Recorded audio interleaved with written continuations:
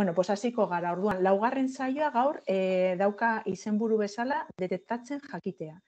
Gaur, indarkeria fisikoaren, sexualaren, emozionala, emozionalaren eta beste indarkeria mota batzuen adirazleak landuko dira, eta zabarkeria fisikoaren eta emozionalaren adirazleak ere e, landuko ditugu. Vale? E, gurekin, e, bueno, ga, e, con, con nosotros hoy Fernando Álvarez Ramos. Es experto en psicología jurídica y psicología forense. Ha participado y dirigido varios cursos sobre el tema y ha colaborado en varias publicaciones relacionadas con la evaluación psicológica forense de niños, niñas, adolescentes víctimas o testigos en procedimientos judiciales. Bueno, arracha León Fernando, a ver si conseguimos arrancar esta tarde. Venga. Arrachaldeón, enchuten? Arrachaldeón, sí, bye, bye, bye. Eh, se escucha. Ahora ha desaparecido bueno. Íñigo, pero bueno, creo que ya, ya estamos en ello. Bueno, pues, pues Arrachaldeón, eta Íñigo, ya, ala, venga. Sí, y, y, bienvenidos a este, bueno, a este, a este ensayo, a, este, a esta parte. Bueno, lo primero agradecer tanto a Save the Children como al Departamento de Educación, lógicamente, el haberme invitado en, en este contexto. Mmm, sobre un poco la, la, consigna fue en esta parte ya última entre hoy y mañana eh, poder mmm, aplicar lo más posible a la práctica lo que, lo que bueno, durante todo este tiempo habéis podido, habéis podido aprender, habéis podido escuchar en relación a los derechos de la infancia, al marco legal, también al marco conceptual, se os ha facilitado el conocimiento bastante, muy profundo de la violencia sexual y también la parte de prevención en, en los centros, en, la, en, los centros educativos.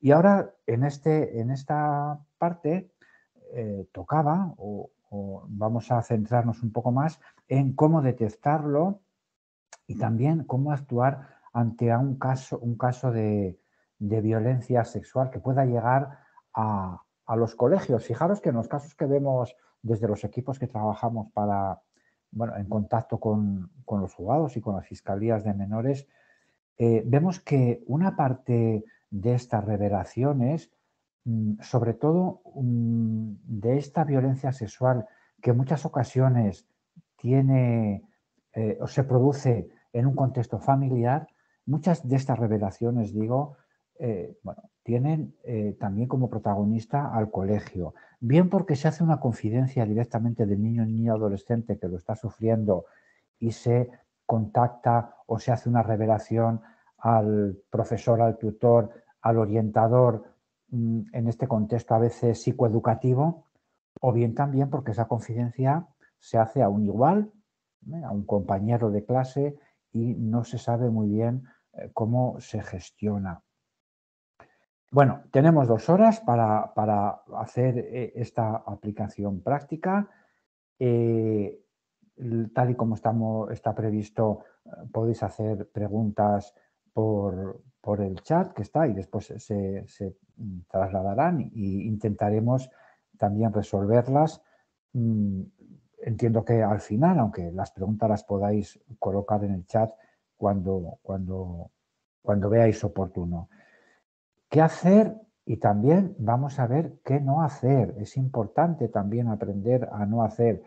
Mm, bueno, a mí me produce un cierto, ¿no? un poco, un cierto rubor en un contexto eh, de profesores educativos, de personas que trabajes en los centros educativos, pues hablar qué, cosas se pueden o no hacer en un centro educativo. Bien, lo que vamos a, lo que vamos a intentar es mmm, intentar aquí, mm, bueno, eh, poner en superficie eh, algunas cuestiones que la psicología forense, relacionadas fundamentalmente con el testimonio, con las revelaciones que niños, niñas y adolescentes hacen referente a la violencia sexual, eh, bueno, intentar poner, darle, darles esa importancia y algunas pautas eh, sobre qué nos indica, eh, pues eso, la, la, psicología del testimonio o también a veces no es solo testimonio, sino es la observación de algunos indicadores conductuales, algunas conductas en ocasiones sexualizadas, etcétera, ¿qué podemos hacer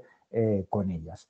Bien, si os parece vamos a, a, compartir pantalla, si podemos, porque es una tarde un poco complicada con respecto a la técnica, y si podemos compartir compartir pantalla para ver la primera, la primera diapositiva. No sé si podemos... La, la comparto yo, ¿no, Fernando? Sí, compártela, compártela tú, Íñigo.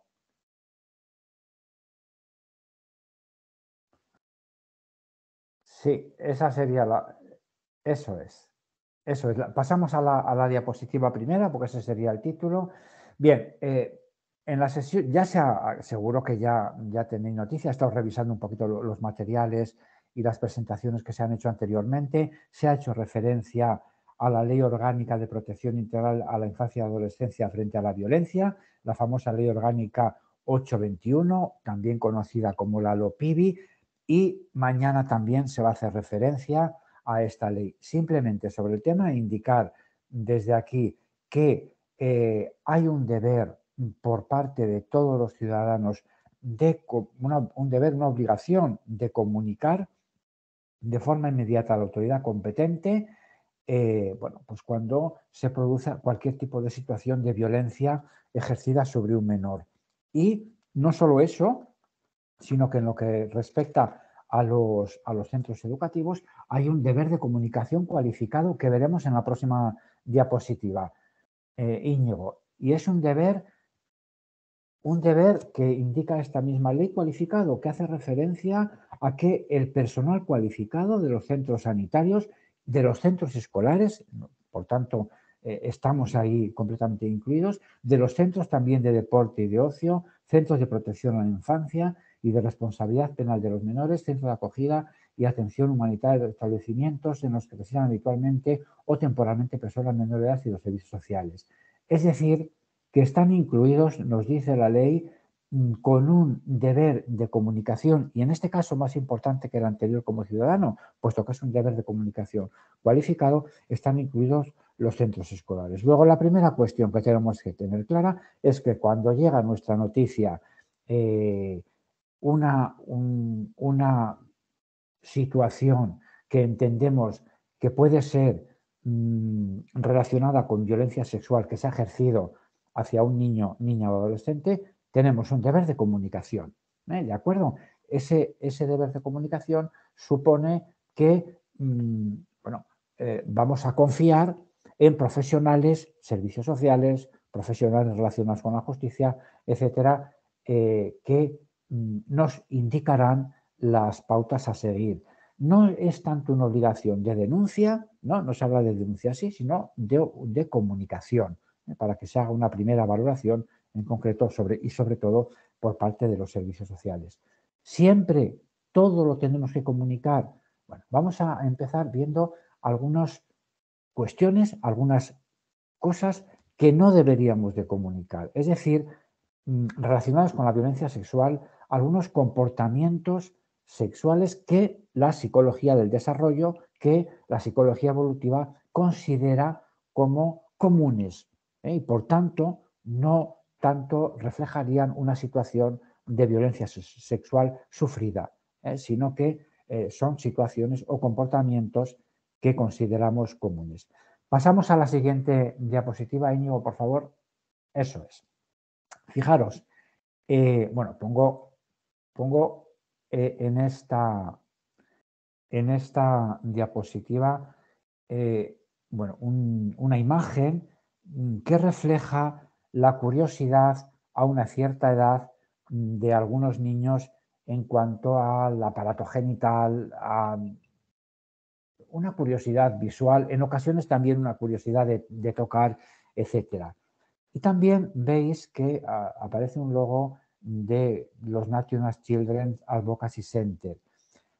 En concreto, este, esta diapositiva, esta lista de comportamientos sexuales comunes es una, un díptico que en este centro, que, está traducido, que en este centro, en concreto en, el de Huntsville, Alabama, que se considera en relación al testimonio bueno, el, original de Estados Unidos a partir de este tipo de centro en concreto, del primero de ellos, que es el de Huntsville, el de, Alabama, eh, surge todo el modelo llamado Barnahus, que también seguro que habéis oído hablar de él, y eh, que se, está, eh, se ha extendido fundamentalmente en la Europa nórdica también en Europa Central y que en estos momentos se está implantando también en Euskadi. Bien, pues este eh, centro de defensa de los niños eh, hace una publicación de algunos comportamientos sexuales comunes y que no debemos de, que no son objeto de, denuncia, puesto que se consideran eh, comunes. Los tenéis ahí, no sé si podemos ver bien la, diapositiva, hacerla de alguna manera más grande, porque la verdad es que se ve, se ve bueno, es una, es una copia, eso es. Y fijaros, fijaros que eh, inicialmente, en, bueno, está dividido por edades, pero hay algunas conductas pues como por ejemplo eh, mostrar, tocar, enseñar algunos los genitales, incluso tener, tener erecciones. Estamos hablando de la infancia de, de 0 a 3 años, de querer estar desnudos, eh, etcétera. Ese tipo de, conductas o de comportamientos, mm, sin algo más llamativo, pueden ser considerados como evolutivos, pueden ser considerados como dentro del desarrollo y por tanto no serían tenemos que saber diferenciarlos y no serían objeto de, denuncia. En los niños en edad preescolar, en 3 a 5 años, si lo pudiéramos, si lo podemos ver un poquito más grande y vamos a ver si podemos separar un poco esto. Ahí vemos también, eh, pues, bueno, pues algunos eh, volvemos un poco lo mismo, el mostrar partes íntimas a sí mismos, a los demás, eh, tener poco sentido de la vergüenza, no les importa estar desnudos. Yo recuerdo una situación eh, que, llegó como denuncia, bueno, fundamentalmente porque un niño en, el, yo en el metro, en algún transporte público, pues en algún momento determinado se había bajado el pantalón y quería enseñar eh, sus, genitales. Bueno, eh, a veces son algunos comportamientos que pueden considerarse fuera de lo, corriente, pero no son suficientemente llamativos como para, ser algunos indicadores de, que algo en relación a la violencia sexual está ocurriendo. Esta, esta situación que veis aquí y que también y que también aparecen en edad escolar de, 5 a, 9 años se vuelven diferentes en la siguiente parte que es, eso es, más o menos, eh, bueno, hay, aquí también hay algunos juegos eh, que se consideran, se pueden considerar mm, dentro de un desarrollo normal, por ejemplo, jugar a papás y a mamás, jugar a la familia, jugar a médicos enfermeros o enfermeras.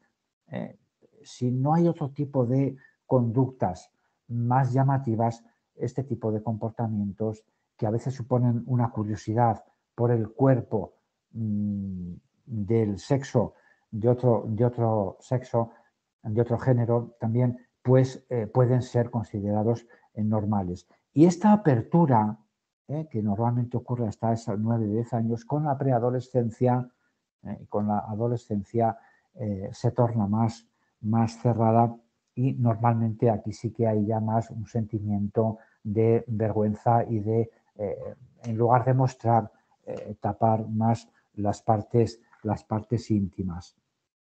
Eh, usan en ocasiones, son curiosos y comparten fundamentalmente en este caso con los amigos algunos tipos de, de palabras relacionadas con lo sexual, de comportamientos sexuales que han visto, eh, fijaros la facilidad de ver ahora mismo cualquier tipo de conducta o comportamiento sexual eh, por medio de, de, las tecnologías, por medio de redes sociales, eh, etc.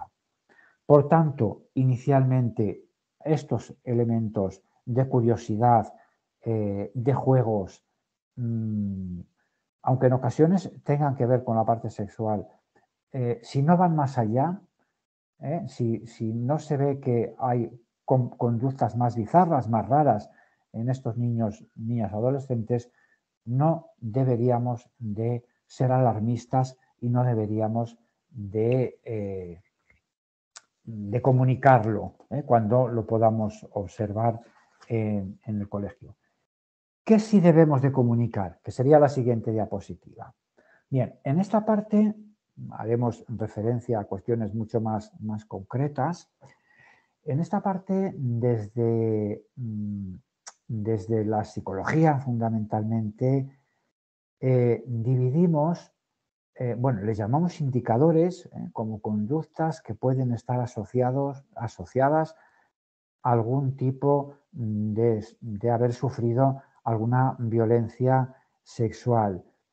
Y los, los diferenciamos en indicadores, y indicadores altamente específicos, lo que llamamos evidencia, y algunos otros indicadores, eh, también conductas ya de tipo sexualizado, que eso sí consideramos eh, indicadores de, de que pudiera haber detrás un, bueno, el haber participado un niño o niña adolescente en alguna situación de abuso o de cualquier tipo de, violencia sexual.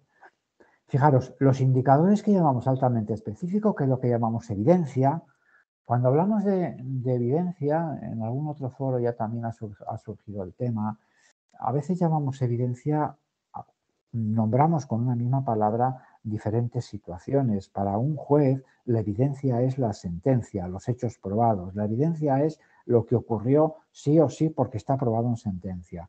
En cambio, desde el ámbito ya más de la protección o de, eh, la psicología forense, evidencia le llamamos a, otro, a otra serie de elementos psicosociales, aunque no estén probados en sentencia y sean, por tanto, el supuesto autor presuntamente, ¿eh? puesto que no estaría aprobado. Pero sí reflejan una atención eh, especial. Y en estos casos que llamamos de evidencia, requieren normalmente, requieren mm, la denuncia, requieren una investigación de los hechos. Mm, la evidencia, eh, lo que llamamos evidencia o indicadores altamente específicos, fundamentalmente son dos.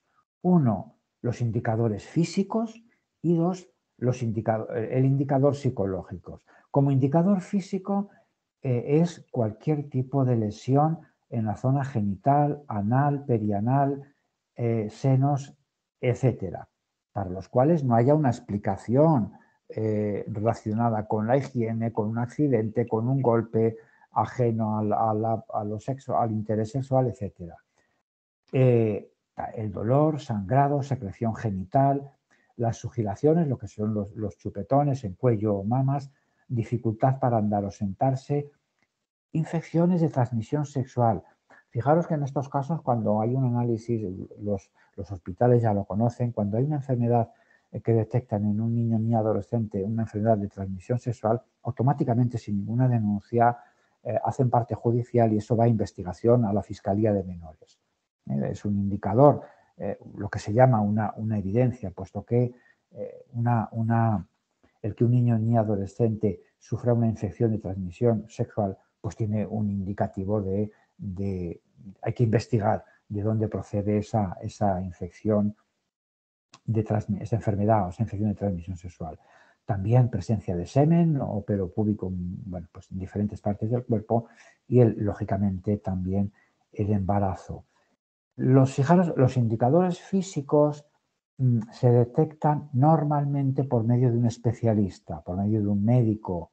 En ocasiones también eh, hay un protocolo establecido en los cuales cuando una, eh, una madre o un padre lleva a su niño por alguna de estas situaciones a un hospital, eh, en estas situaciones se, llama, se da parte también al juzgado de guardia, va el médico forense y se hace una un análisis o una, eh, una entrevista y un reconocimiento de ese niño de conjunto, ¿eh? pediatra normalmente y médico forense.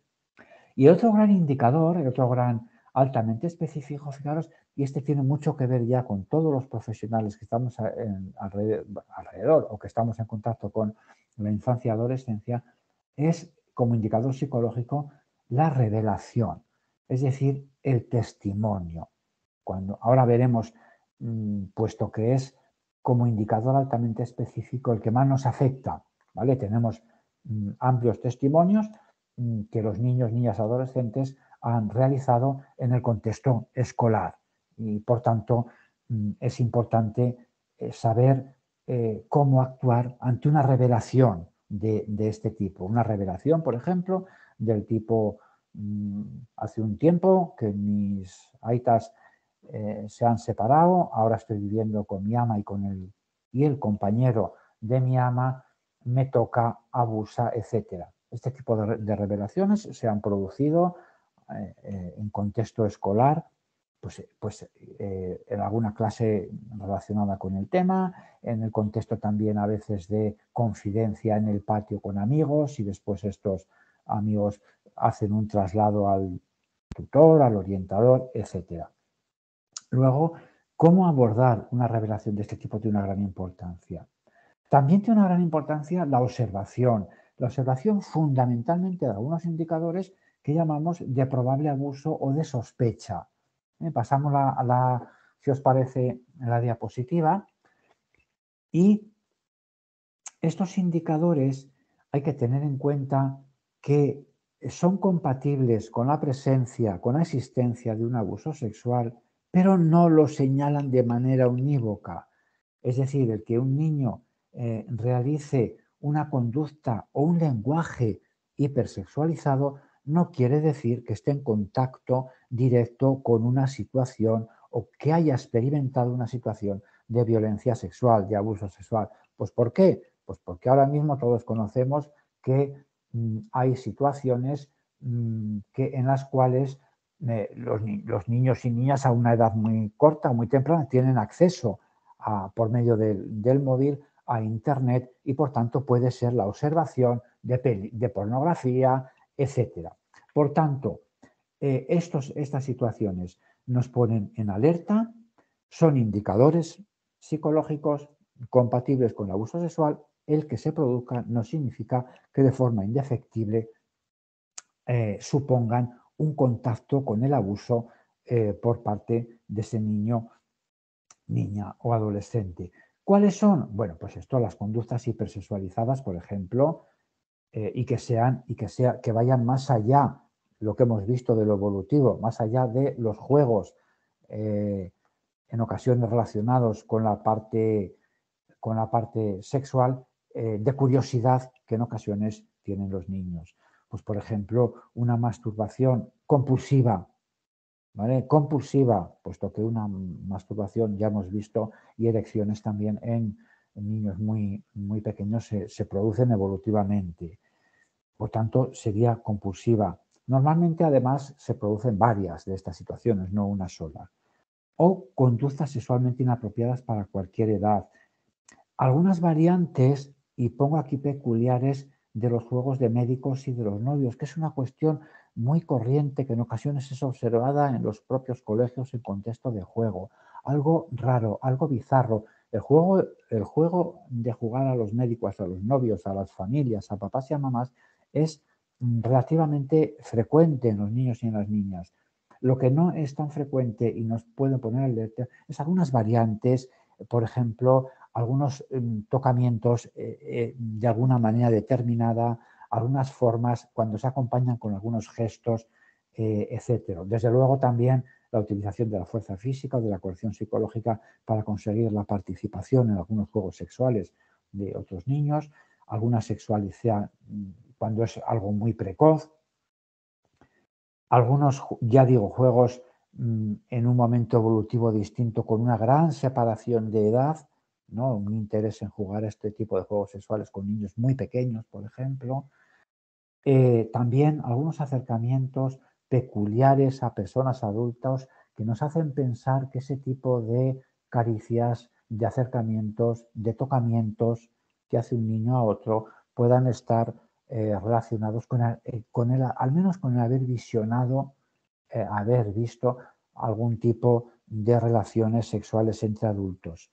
Mm, bueno, pues ya vemos ahí también algunos, por ejemplo, como el, tratar de introducir la lengua al besar, acomodarse a una persona en la cama y simular algunos movimientos que tienen en se tienen en las relaciones sexuales.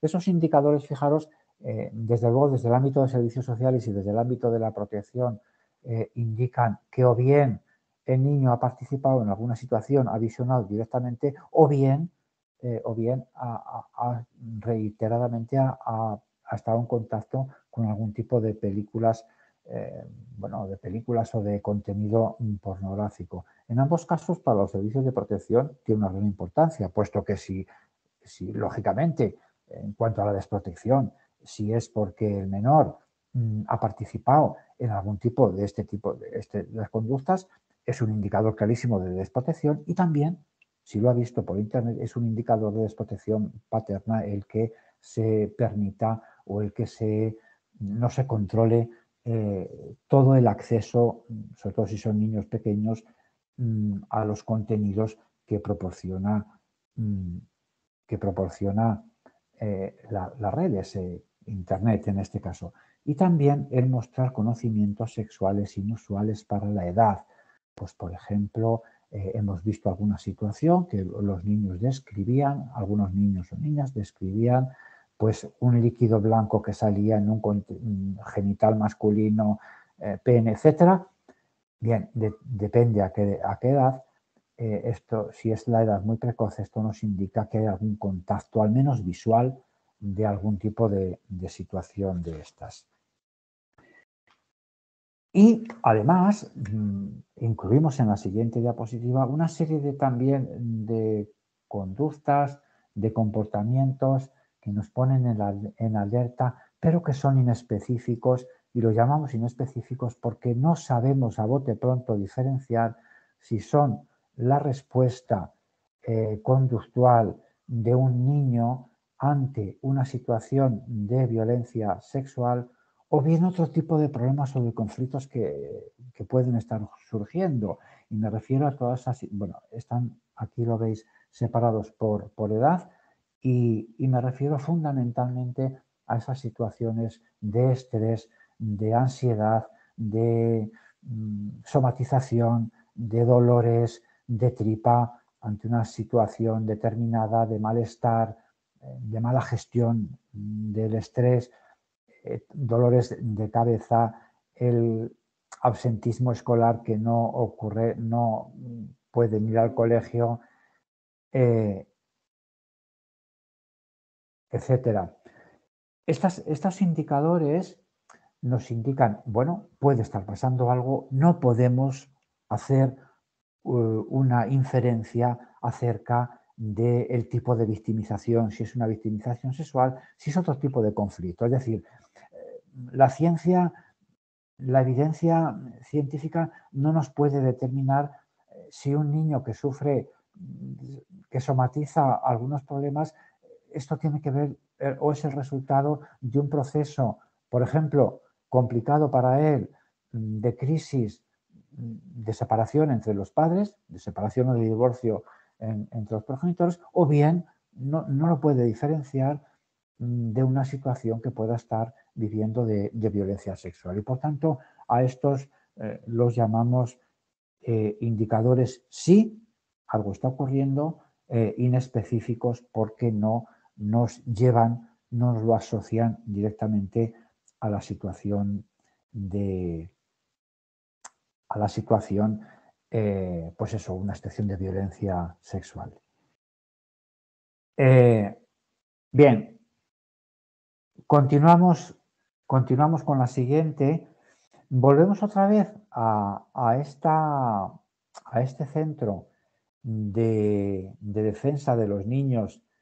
Pongo el de, el de de Alabama porque es el primero y también porque eh, es, hacen un díptico de sepa cómo responder, eh, que es una, una campaña eh, también de divulgación que hace fundamentalmente entre profesionales y que, eh, fijaros que este tipo de, centros, pongo la foto, ponemos aquí la, fotografía esta también porque es este el centro de Alabama, una parte del centro, esta es la parte de investigación, es decir, ellos tienen eh, una parte importante de, investigación y, bueno, es un centro muy grande y aparte de recibir o recabar testimonios de niños que han sido objeto de violencia sexual hacen también un proceso de, investigación.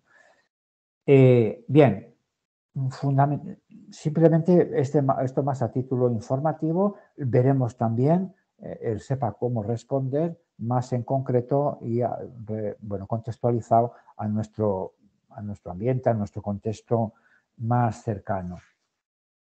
En concreto, y pasamos a la, siguiente, mm, hay materiales, mm, y pongo aquí tres ejemplos, ¿eh? tres ejemplos de cómic. Uno, el primero de ellos es un cómic, fijaros que se titula Marta y Pablo tienen que ir al juzgado.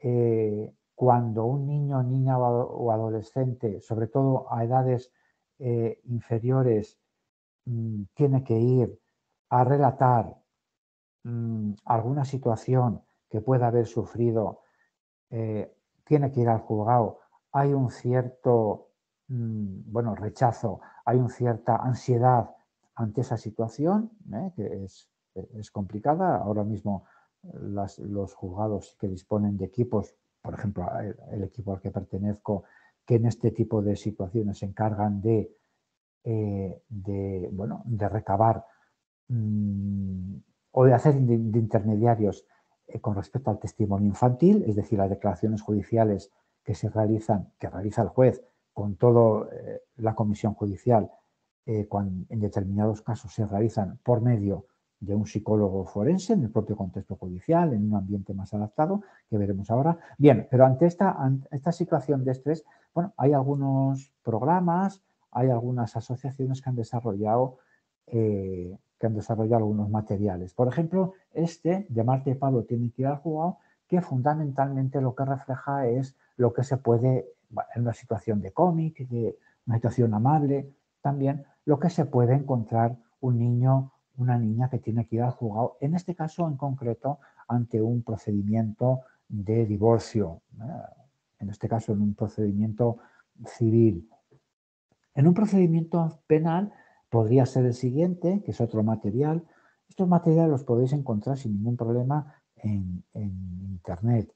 Mm, el siguiente, digo, es Hoy vamos al jugado, que ha sido desarrollado por unos compañeros de, un jugado especial que se ha especializado en plan piloto en las Palmas de Gran Canaria, especializado en violencia contra la infancia y adolescencia, y que también han desarrollado este tipo de materiales para presentarlos incluso para eh, facilitarlos ante, antes de que tengan que hacer esta comparecencia judicial los niños, niñas, adolescentes que mm, refieren a algún tipo de victimización eh, sexual. Y uno especialmente importante es el siguiente, mm, que es uno que publica el Centro de Estudios Jurídicos y Formación Especializada de la Generalitat de Cataluña, que hace unos cuantos materiales, uno de ellos dirigidos a las familias, en esta intenta eh, bueno, responder, intenta orientar a las familias de cómo pueden eh, abordar una situación de estas. ¿eh? Brevemente, también a las familias no especialistas en la materia, por tanto, con pequeños consejos muy centrados en, el objeto. Y este, que veremos más adelante también, uno especialmente que se titula Y tú sabes cómo preguntarme. Es decir, eh, este hace referencia a el manejo de la información, de la revelación de un niño o niña ante una situación de violencia sexual. ¿Vale? Hay que saber, efectivamente, preguntar. Ante esta revelación, mm, vamos a ver algunas pequeñas premisas previas antes de algunas pautas concretas sobre qué hacer cuando tenemos eh, contacto con una situación de una situación eh, bueno, de revelación de un abuso. Y sería, pasamos a la, a la siguiente a la siguiente parte. Fijaros, algunas premisas previas que yo sí que me gustaría que, me gustaría que, tuviéramos en consideración. Pongo tres fotografías en esta diapositiva. Una es, mm, vale, mm, eh, eh, tiene que ver con la primera parte, eh, derivar el caso, fijaros que la, consigna es, si no eres especialista en el tema, ante una revelación o la observación de algunos indicadores, lo más responsable es derivar el caso. ¿A quién? A recursos, servicios o entidades que dispongan de personal experto. Normalmente en Euskadi la derivación que está establecida de este tipo de casos es a los servicios sociales generales, servicios sociales municipales o bien especializados que puedan, que puedan corresponder a las diputaciones. Si se hiciera los servicios sociales generales, valorarían si correspondería a los especializados o les correspondería a ellos. Bien, en estos casos hay personal especializado en cómo actuar ante la observación de una evidencia o de unos indicadores de sospecha. Vemos ahí un contexto de una entrevista amable, eh, bien, como ejemplo que se pueda hacer eh, también eh, con presencia de los, de los, progenitores, de los padres, que se pudiera hacer por parte de algunos servicios sociales, bien, generales o especiales. Y la siguiente, las siguientes dos fotografías corresponden a una forma de obtener el testimonio que se está, que se está haciendo en Euskadi, que se llama, bueno, desde los órganos judiciales, ya ves que se indica que dispone de equipo de psicólogos forenses especializados en recoger estas declaraciones de niñas, niños y adolescentes de primera mano, es decir, con técnicas especializadas y ahí el niño, niña, adolescente podrá sin problemas explicar lo que quieran y lo que necesiten.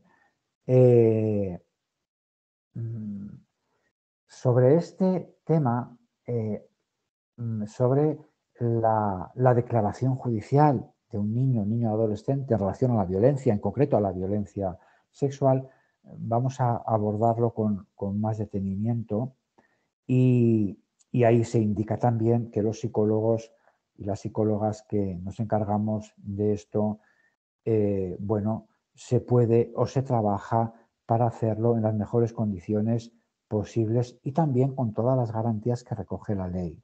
Las mejores condiciones posibles son las que nos dice la evidencia científica de y los protocolos y guías de buenas prácticas de cómo hay que recoger este tipo de declaraciones, este tipo de testimonios.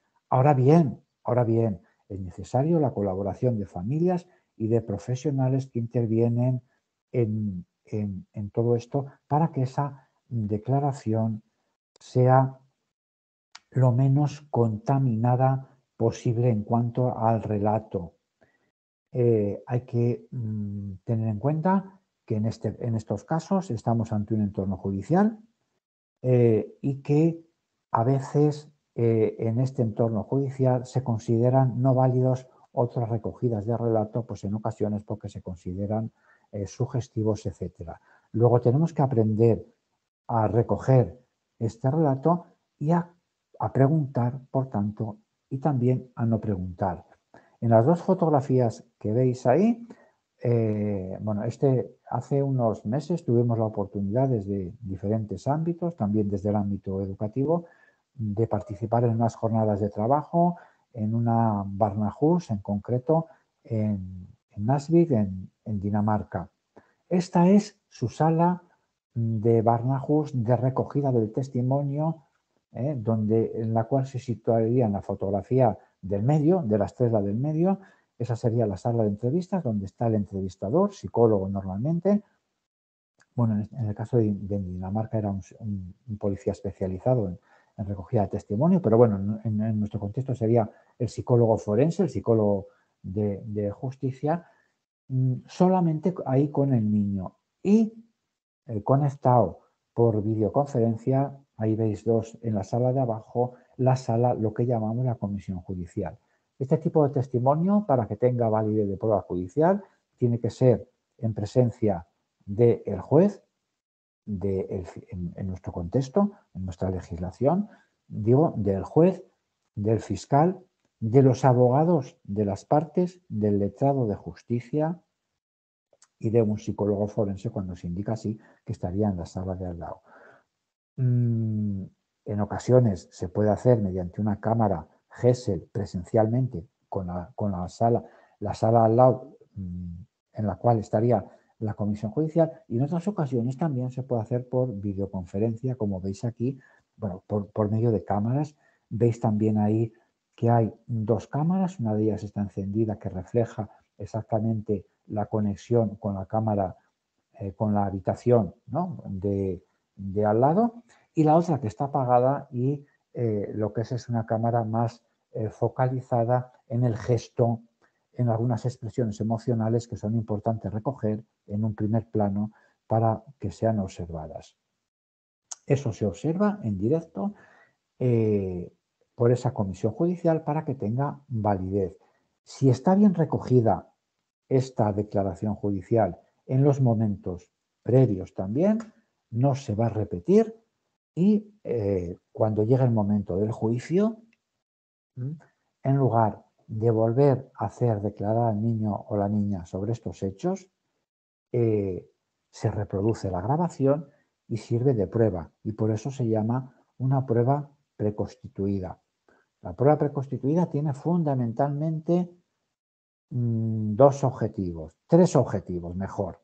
Uno, eh, garantizar la seguridad de este niño que declara en estas condiciones sobre situaciones que tiene que revivir. Sobre, ya sabéis eh, que cuando uno accede a la huella de memoria de una situación traumática, la revive. Eh, por tanto, hay que garantizar su seguridad, hay que minimizar algunos aspectos, detalles que puedan influir y que puedan victimizarle. En otro caso eh, hablaríamos de una victimización secundaria.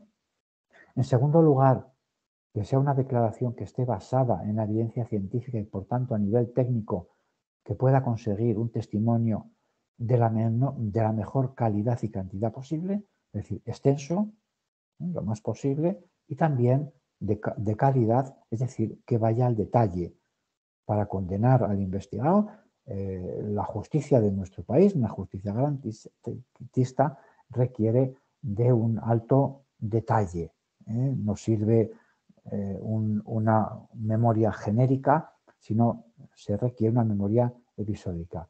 Y en tercer lugar, para que, sea para que sirva como prueba judicial, tiene que estar mm, también, bueno, mm, garantizado, tiene que estar eh, las garantías jurídicas eh, presentes. Por ejemplo, por ejemplo, la presencia del abogado defensor del investigado y también el que el investigado pueda estar eh, presente en la propia declaración.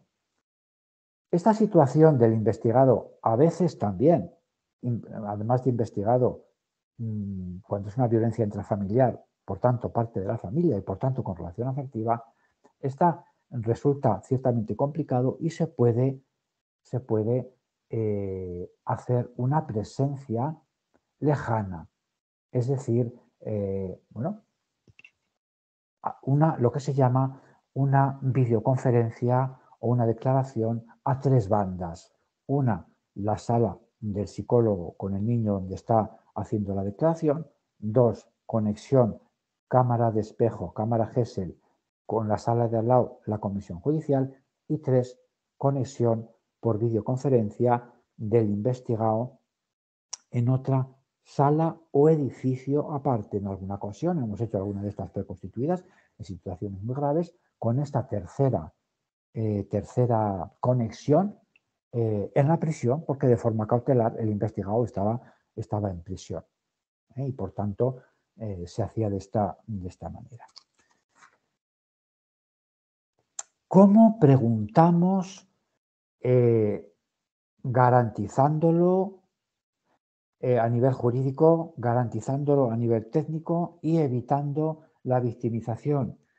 Pues a veces lo que hay que hacer es no preguntar. Pasamos a la, a la siguiente y es una indicación ya muy clara. Hay que, hay que saber que para preguntar y explorar se requiere una formación especializada, ¿eh? hay que, para ir al detalle eh, hay que saber preguntar, hay que hacerlo de una manera no sugestiva, en algunas ocasiones algunos servicios que han, a veces relacionados con la protección infantil o servicios sociales, eh, han, han, hecho algún tipo de entrevista intentando recabar la máxima información testimonial de estos niños, a veces también en algún eh, colegio ha ocurrido y eh, bien, después no tiene validez como prueba, como declaración. Eh, pues porque se ha considerado por parte de, la judicatura, en este caso sí, para, para, que sea prueba judicial, que no está hecho estas preguntas con la suficiente garantía. Y con la suficiente garantía, la forma de preguntar a un niño en estas situaciones es, es precisamente el no preguntar, ¿eh? hacer una indicación de qué ocurrió. Ese es el testimonio mejor eh, rescatado de un niño o niña. Pero lo que hay que saber es que hay, profesionales y, que, eh, que pueden hacer una buena entrevista forense con estas condiciones que hemos, que hemos descrito y que eh, ante una sospecha lo que, se, lo que se indica, como hemos visto, es fundamentalmente la derivación a estos servicios. Y si el niño lo relata y si el niño lo indica, escuchamos, bien, escuchamos. Pero fundamental, en este, ah, lo veremos también a continuación, es fundamental en este contexto educativo no preguntar, es decir, no ir al detalle, puesto que eh, la revelación que haga con respecto al detalle para que tenga validez judicial tiene que ser hecha en unas condiciones muy concretas, como es, ya digo, la, la prueba preconstituida. Y cuando hacemos esta referencia y cuando indicamos eh, que no debemos de preguntar con detalle, entonces, ¿qué hacemos? No? Desde, en concreto, desde, desde los centros educativos ante una situación de una revelación de una niña que dice, me ha dicho esta que cuando va a casa algunos días le toca ir con su papá y en esos casos allí ocurren le lleva o tiene que dormir con él y algunas veces se ha despertado. Bueno, ante una situación de estas que mm, decimos que no debemos de preguntar, ¿qué podemos hacer? ¿Se puede hacer algo? Bien, pasamos, si, te parece, Íñigo, a la siguiente. Sí, sí que se puede hacer, claro que se puede hacer. Lo fundamental, eh, hay que tener en cuenta que este tipo de situaciones tienen múltiples abordajes, es decir, va a estar en contacto con ese niño, esa niña, con este caso, múltiples sistemas.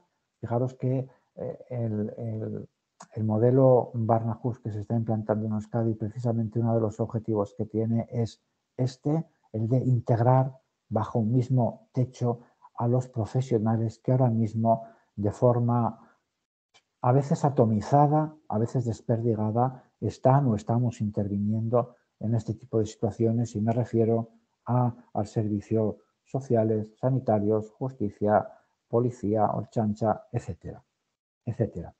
Por tanto, y también toda la sociedad, hay que tener en cuenta que va a tener eh, múltiples abordajes, que lo ideal sería, por tanto, integrar estos múltiples abordajes.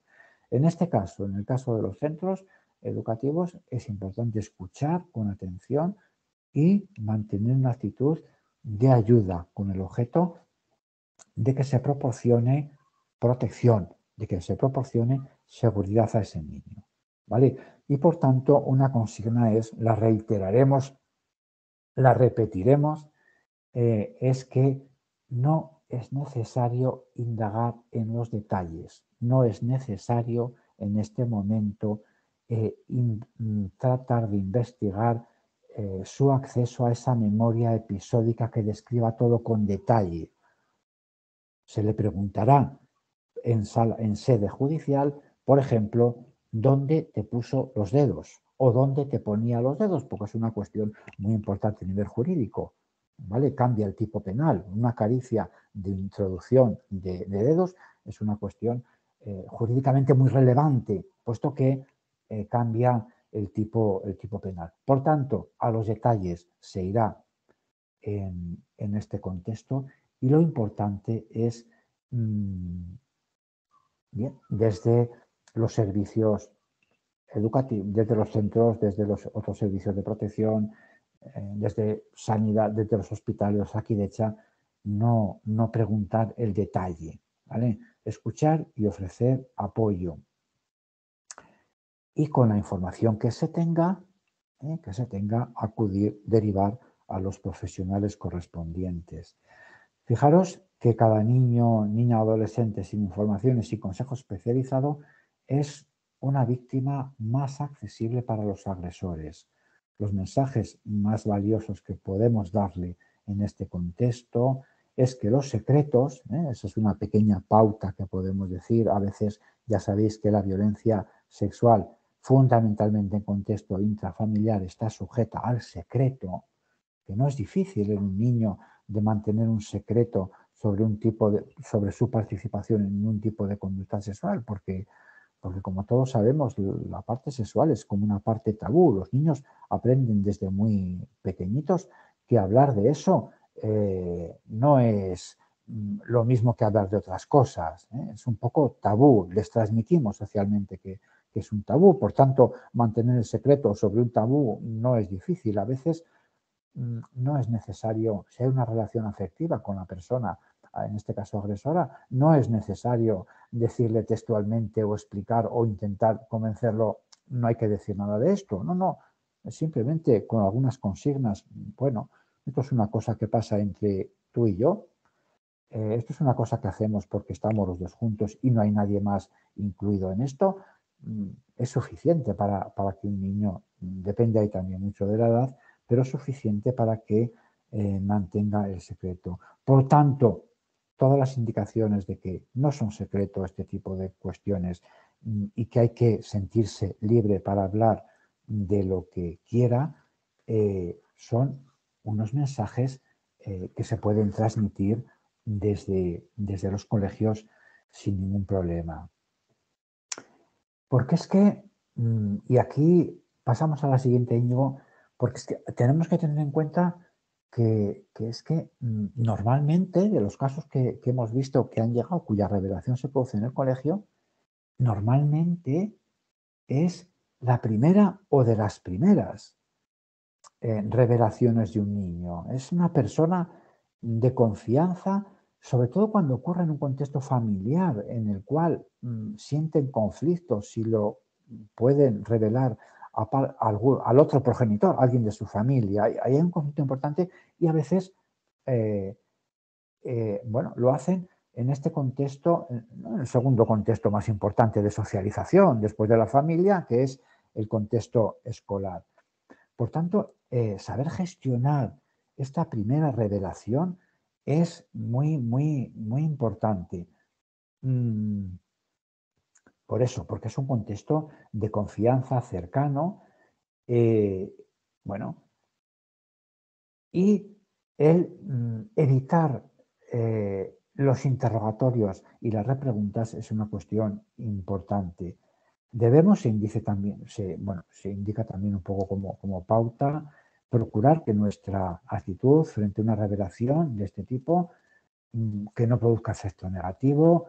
Fijaros que Mm, en ocasiones, mm, a veces, por repetir el testimonio, veremos ahora más claramente los efectos de, la repetición del testimonio, pero, pero es que incluso eh, se puede favorecer, que es una cuestión bastante, bueno, bastante habitual, bastante corriente, la retractación, es decir, el que una segunda revelación diga, no, lo que eh, en aquel momento dije no es cierto, yo no quiero hacer nada de esto. ¿Por qué? Pues en muchas ocasiones porque como consecuencia de la primera revelación ha habido algún tipo de consecuencia que ha sentido como negativas para él. Conflicto de lealtades cuando es intrafamiliar, alguna situación de miedo, de inseguridad, de no saber muy bien eh, frente a lo que se estaba enfrentando, eh, eso, enfrentando y mm, por tanto pueden ocurrir este tipo de, retractaciones, que es muy corriente, también lo es ¿eh? si os dais cuenta, si habéis visto o leído, también es muy corriente la retractación de las víctimas de violencia de género. ¿eh? ¿Por, qué? Pues por esa relación afectiva que, a veces ocurre y que a veces les, les une. Mm, aparte de condicionar todo el relato cuando se repite. Eh, fijaros, mm, fijaros que, cuando explicamos mm, el acceso a la huella de memoria en una situación de estas, eh, parece un poco paradójico, pero bueno, hay algunas, eh, algunas frases de algún texto de algún psicólogo forense de reconocido prestigio que, más o menos viene a indicar que mal que nos pese, lo que nosotros recordamos de cuando éramos niños no ocurrió así. Es decir, no tenemos de memoria una videograbadora. No es una videograbación lo que nosotros recordamos. Cada vez que accedemos a ese recuerdo de una situación vivida anteriormente, lo vamos modificando. ¿Eh? Fijaros si se accede múltiples veces, cómo quedará al final ese, ese recuerdo. Pues muy modificado. Lo vamos modificando con la experiencia que vamos ganando, lógicamente, con el significado que le vamos dando a las situaciones. ¿eh? Fijaros que en ocasiones mm, niños, eh, bueno, adolescentes nos explican una situación mm, con contenido sexual, con objetivo sexual, de cuando tenían cinco o seis años a, la cual ellos no le daban ningún significado sexual. ¿eh? No le daban ningún significado sexual porque era imposible, cognitivamente no, no podían dárselo. Eh, por tanto, el significado sexual que le damos posteriormente, que lo incluimos cuando recordamos esa conducta, solo hemos dado posteriormente. Nosotros, ya de adulto, a medida que hemos avanzado cognitiva, evolutivamente, cognitivamente también, y podemos inferir que aquellas caricias tenían una satisfacción sexual. Y esto es lo, en el caso del abuso, eh, fundamentalmente esto lo que, lo que victimiza. A veces es una victimización no tanto por el dolor físico, ni siquiera psicológico del momento, sino más por el significado. ¿eh? Las caricias no dejan huella física, las caricias dejan huella psicológica fundamentalmente cuando le damos significado, cuando nos sentimos mm, manipulados, cosificados en beneficio de la satisfacción sexual de otra, de otra persona. Y eso se adquiere mm, en la preadolescencia y en la adolescencia. Por tanto, vamos modificando el recuerdo a medida que accedemos. Cuanto menos accedamos a ese recuerdo, más fresco, más espontáneo, más vivo y más fiel a la realidad será. Eh, quería también eh, indicar mm, que, que, no, solo, no solo es la modificación del recuerdo, sino que además, cuando es un recuerdo con contenido traumático, el acceder a ese recuerdo reiteradamente nos pone en riesgo de volver a sufrir, de volver a, revivir esa situación que en los casos más, importantes ha sido vivida como traumática, ¿eh? como dolorosa. Por tanto, mm, el acceder a ese, a ese episodio eh, nos sitúa en riesgo de revivir, de victimización, por tanto. Cuanto menos se repita ese testimonio, por tanto, mejor. Si obligatoriamente para la investigación judicial se ha de preguntar para que sirva de prueba judicial y, poder tomar medidas, vamos a hacerla cuanto antes, lo más cercano posible en el tiempo, eh, para que no se repita el testimonio una vez que se recoja como prueba ese testimonio, independientemente de cuando salga al juicio, eh, se podría iniciar también ya el tratamiento específico sobre esa situación de ese niño o niña, que es otra de las partes, el tratamiento y la reparación de, estas situaciones. Importante, por tanto, muy importante ante una revelación, eh, cómo podemos actuar.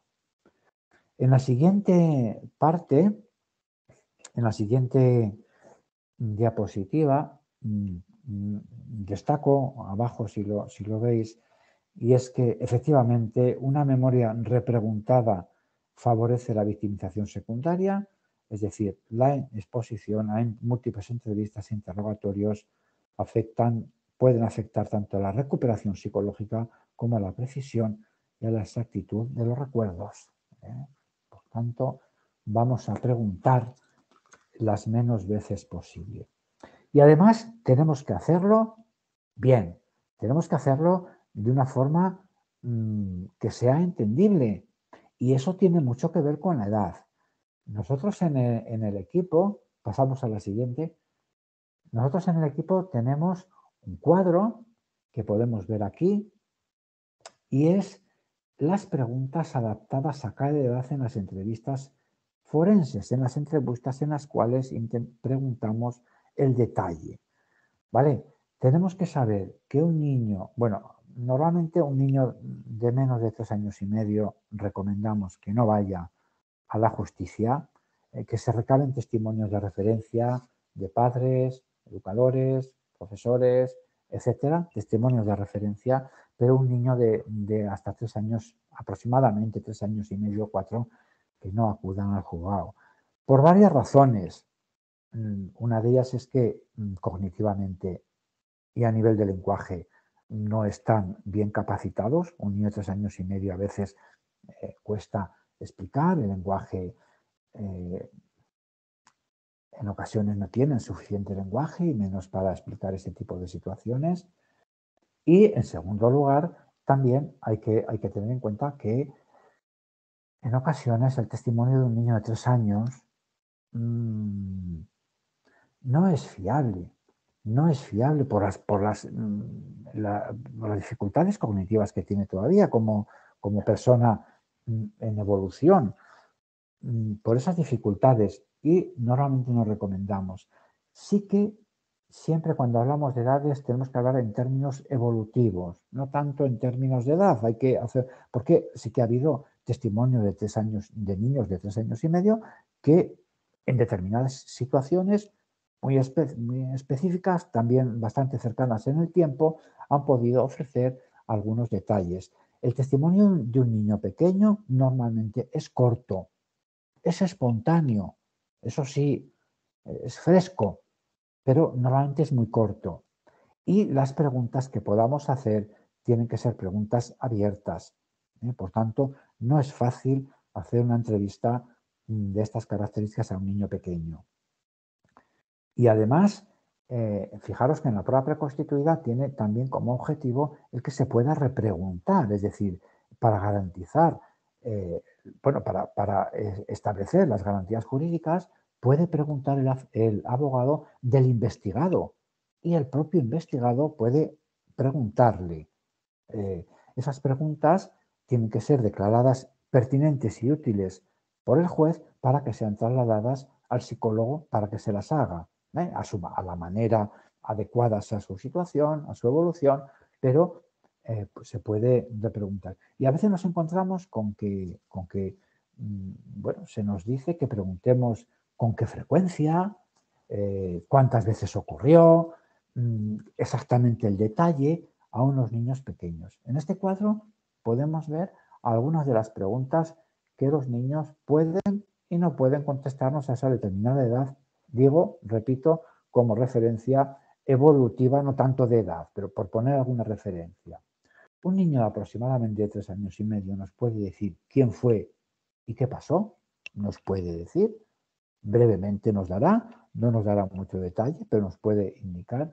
Y si le preguntamos dónde tendrá dificultad, y desde luego cuando le preguntemos cómo, cuándo, con la parte temporal tienen muchas dificultades, y nos dicen ayer, porque para ellos ayer es tiempo pasado y ayer es ayer, pero ayer también es hace dos semanas, con lo cual no va a ser eh, indicativo de cuándo fue la última vez que esto ocurrió y nos dice ayer. Bueno, a veces hemos visto que ayer no es imposible porque ya no había contacto con el agresor, a lo mejor es una situación intrafamiliar, luego ayer no. ¿Es, ¿Es contradictorio? ¿Es falso lo que está diciendo? No, no llega cognitivamente a decirnos mm, el ayer. No, no, es capaz de diferenciar hace cuatro días, hace dos semanas de ayer. Luego, no nos está mintiendo, no es una contradicción, es que, es que le estamos mal preguntando. o con qué frecuencia.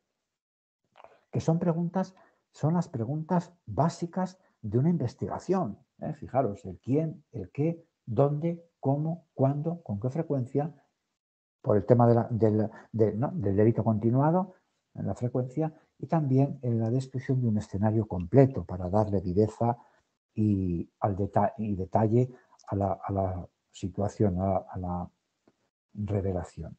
¿Vale? Y ya digo, este cuadro lo solemos tener para que no haya confusión eh, y porque a veces mm, algunos abogados sin tener en cuenta eso, pues, pues quieren preguntar con qué frecuencia a un niño, ya digo, por ejemplo, de, de tres años y medio, cuatro, que no nos dará, no nos dará adecuadamente mm, la respuesta. En cambio, a partir de nueve años, a partir de diez años, probablemente nos puedan describir perfectamente todas estas preguntas de importancia judicial. ¿Por qué? Pues porque cognitivamente están preparados, porque la memoria, y eh, cuando hablo de la memoria hablo específicamente de la memoria episódica, no de otro tipo de memoria. La memoria episódica es la que nos sitúa en el recuerdo de lo que ocurrió en un momento determinado, en un lugar determinado.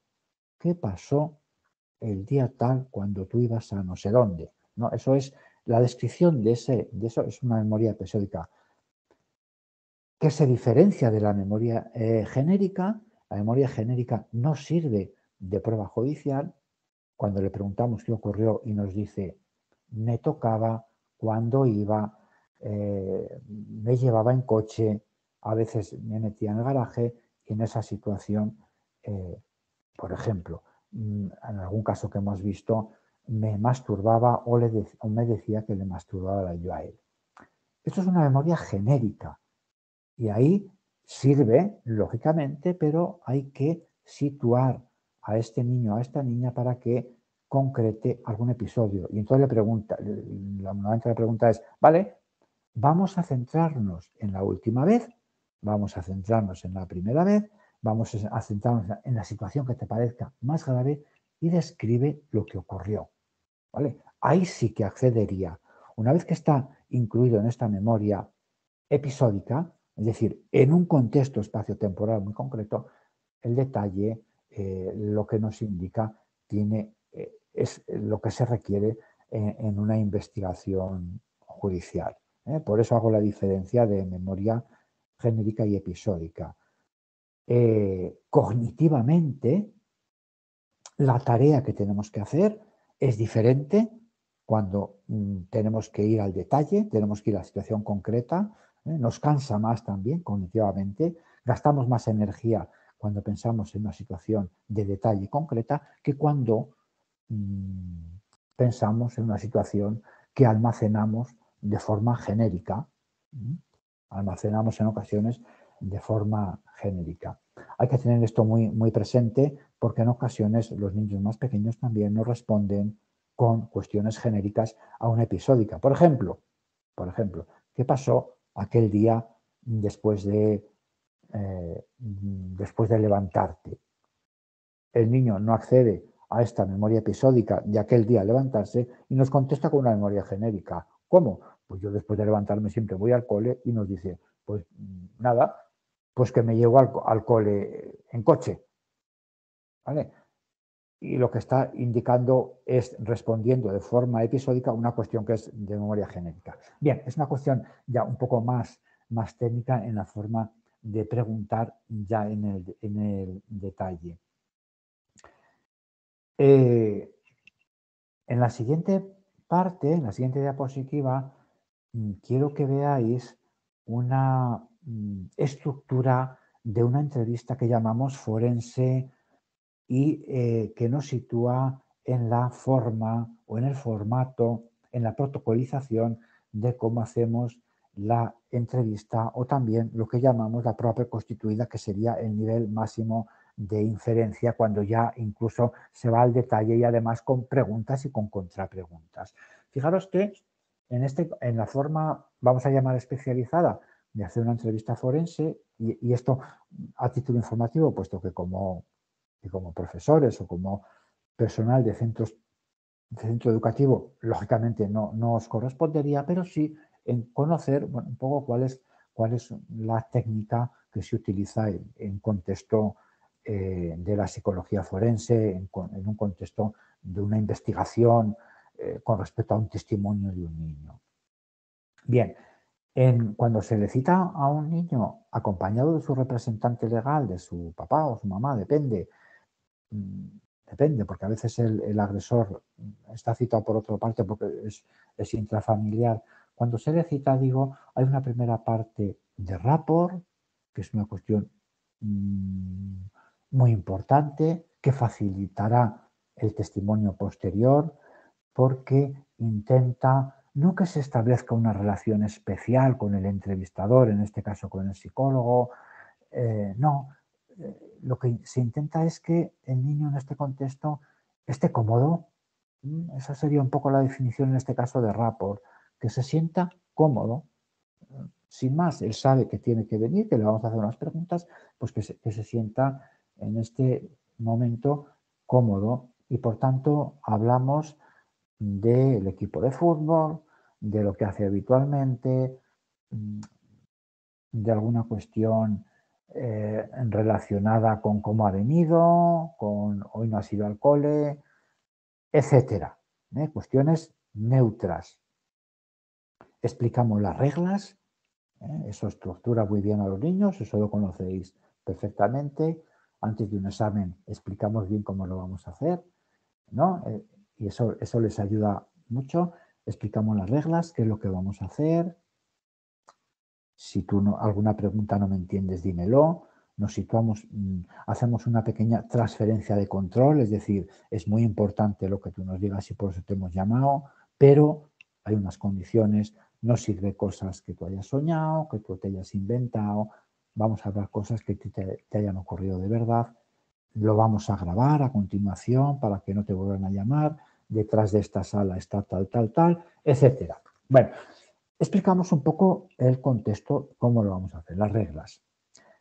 Hay un entrenamiento, sabemos, eh, y aquí tiene mucho que ver la influencia del sistema educativo, que los niños aprenden muy bien con ejemplos. Hacemos un ejemplo, ¿eh? antes de pasar a lo que es la declaración en sí, hacemos un ejemplo. Y así eh, sabemos qué es lo que tenemos que hacer cuando la declaración sea, entre comillas, la de verdad. Por ejemplo, acuérdate, como le he cogido algunos datos, sé cuándo ha sido su cumpleaños, o si estamos en octubre o en noviembre, le podemos decir, acuérdate del primer día de cole. ¿Qué hiciste? ¿Qué pasó? Descríbeme todo lo que ocurrió. ¿Vale? Y ponemos al niño en tesitura de lo que después le vamos a preguntar, que le vamos a preguntar de esa manera. Sitúate en este momento y explícame todo lo que ocurrió. Por tanto, Además, mm, el entrenamiento este nos facilita el ver el nivel cognitivo, el nivel psicolingüístico, es decir, si es capaz de aportar un testimonio válido. Hay niños que no, se sitúan en el ejemplo, que no, niños fundamentalmente pequeños que no acceden a, este tipo de, de memoria. Bien, hay una parte importante que es la transición ya al tema sustantivo. Vamos a hablar de esto. Explícame, porque normalmente la consigna es, ¿sabes para qué has venido? bueno, para, para preguntar, ¿sobre qué crees tú que te vamos a preguntar? Creo que me han dicho que me vais a preguntar, explica qué pasó. Eso sería un poco la forma de ir al núcleo. Mm, eso se tiene que complementar con algunas preguntas siempre abiertas, es decir, nunca introducir información nueva al niño si preguntar sobre cuestiones que haya dicho, has dicho que te tocaba algunos días, explícame dónde te tocaba. ¿Vale? No he añadido, la pregunta es dónde. No he añadido información nueva, no digo, no digo, pues yo he leído que, que tú has dicho que, no, no, lo que acabas de decir, tú dices que, explícame dónde. Eh, por tanto, preguntas abiertas, a medida que vayamos cerrando las preguntas, irán ganando en detalle irán perdiendo en validez porque se hacen más sugestivas. ¿Vale? Una pregunta final mm, que el niño no ha terminado de, responder bien eh, y le, terminamos de, preguntar, Vale, pero explícame a una niña, por ejemplo, si te tocaba en la vagina o en un brazo. Mm, le estamos dando respuesta, eh, ¿vale? O las preguntas sí o no. ¿Vale? Estas preguntas tienen un alto contenido sugestivo, puesto que estoy añadiendo información y por tanto tienen muy escasa validez forense, muy escasa a nivel judicial. Mm, porque la respuesta no requiere mucha actividad cognitiva, se dice fácilmente, ya le he dado, simplemente hay que elegir o lo uno o lo otro. ¿eh? Por tanto, ya digo, a medida que las vamos cerrando van perdiendo la, validez. Y finalmente habrá una parte ya de descomprensión, de finalización, de retorno a, lo, a la situación habitual, que también es muy importante. Eh, quería mostraros un cómo no hay que hacer con una peli que yo no sé si conocéis, son, serían, creo que son cuatro minutos si pudiéramos proyectarla. Es la segunda parte, la, tenemos copiada como el enlace, yo creo que, podéis acceder y sería el segundo, sería el segundo.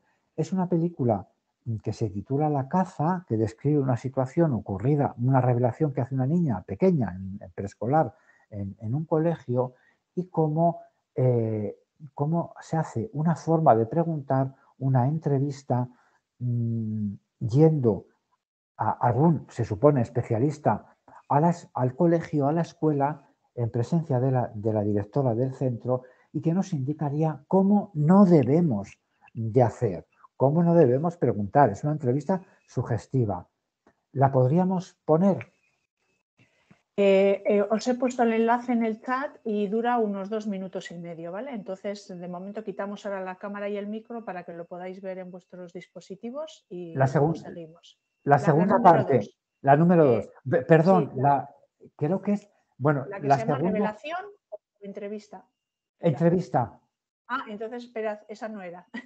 Sí, la has entrevista. Dicho el número dos y espera, es el otro. Un momento. Sí, mientras tanto os explico un poquito el contexto para que entendáis.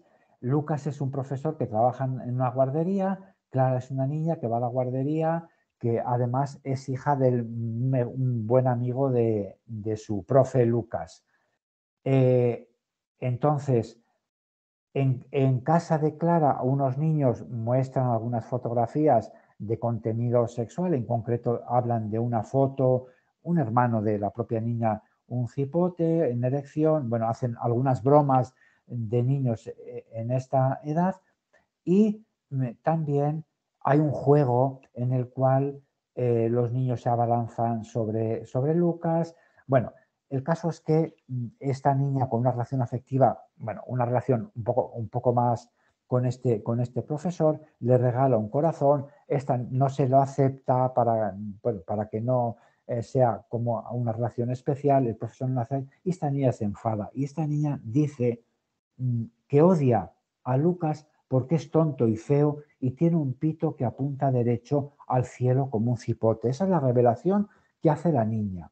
A partir de esta revelación que se recoge en el colegio, en, la, en concreto eh, por parte de, la directora del colegio, esta revelación la hace en un momento que está hablando del profe de Lucas, qué tal con, el profe, con Lucas, y dice la niña, pues en ese momento, Lucas es, lo odio porque es tonto y feo. ¿Y, por qué? Le dice la profesora, ¿por qué crees tú que es tonto? Si te lleva muy bien con él. Bueno, pues porque tiene un pito que apunta derecho al cielo como un cipote. Bien, estas palabras eh, son importantes, es una revelación, importante, hay que analizarlo bien y para eso se, eh, bueno, desde el colegio se llama un especialista, que era una, cuestión que se hacía anteriormente, en concreto de servicios sociales, para que haga una entrevista más en profundidad y más forense. Y fijaros lo mal que lo hace. Eh, esta dura como 6 minutos 50, eh, ¿vale? Entonces eh, quitamos cámaras y vídeo, no la ponemos directamente porque da problemas. Entonces cada uno tenéis que entrar en el enlace que os hemos puesto en el chat y, dejamos estos 6 minutos para verla. Vale, yo, también, yo también podría entrar, ¿verdad? sí, sí, sí, me imagino que sí. ¿Es la que acabas de poner? Sí. Sí, sí, la, la última que está puesta.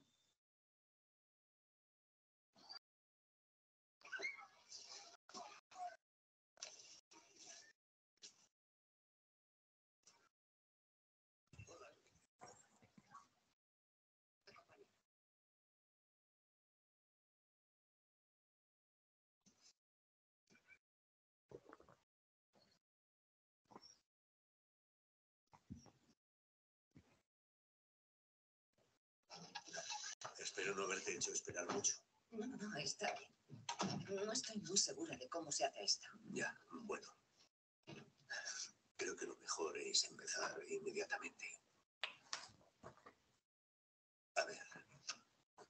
Clara.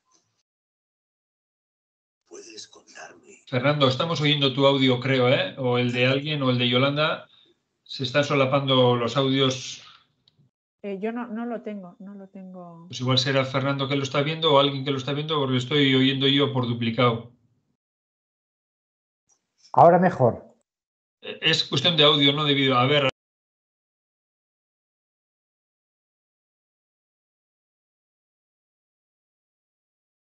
Eh, Fernando, parece ser que, que la gente no, no, lo, no, lo, no lo puede ver. Yo sí lo estoy viendo, ¿eh? Yo sí que lo estoy viendo. El problema es que es con Drive y no sé si, si a alguno Ah. le está dando problemas de permisos, pero se supone que lo habías abierto. Ah, bueno, hay gente que sí, que lo está viendo, ya está.